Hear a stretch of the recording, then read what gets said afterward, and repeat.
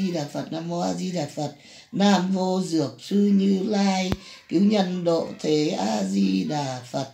Nam mô dược sư như lai cứu nhân độ thế a di đà phật. Nam mô thập nam mô dược sư như lai cứu nhân độ thế a di đà phật. Là 10 điều phật luôn nha. Được không?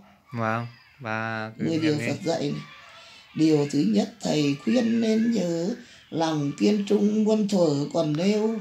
Dù ai nặng nhẹ trăm điều, biết không võ lý cao siêu của thầy. Nhiều thử thách đang vây con đó, nếu ngã lòng thì công khó tiêu tan. Việc chi còn ở trần gian là điều huyễn hoạch chứ mang nơi lòng điều thứ hai, thầy mong đệ tử tình bạn bè phải giữ thủy chung, luôn luôn tha thứ khoan dung, nhũ khuyên nhỏ nhẹ chứ dùng lời thô. Diều dắt nhau để điểm tô công quả phải thực tình với cả xung quanh. Thiệt thòi cam chịu đã đành, dô di phẩm vật thầy dành cho con. Điều thứ ba, vẹn tròn đức hạnh túy bán buôn cơ cực tạo tần, đổi công nuôi lấy tấm thân, đừng ham mến việc phi ân gạt lường.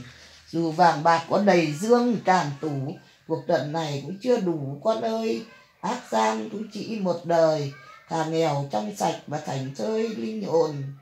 Điều thứ tư, phát môn quy luật, lục thập chay con cố sức trao rồi thịt thà xương màu tanh hôi cỏ cây rau củ cũng rồi, bữa ăn đức từ bi thường hằng thể hiện.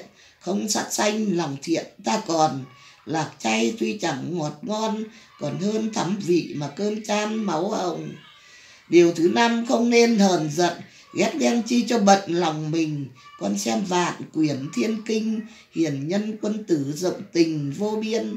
Nay muôn việc bắt đầu sấm nổ, là nguyên nhân thống khổ ly tan tên truyền chánh pháp đạo vàng, học xong chữ nhận biết bàn không xa điều thiết thắm thiết ta, thầy giật ngày ngày ngày lặng lặng công phu.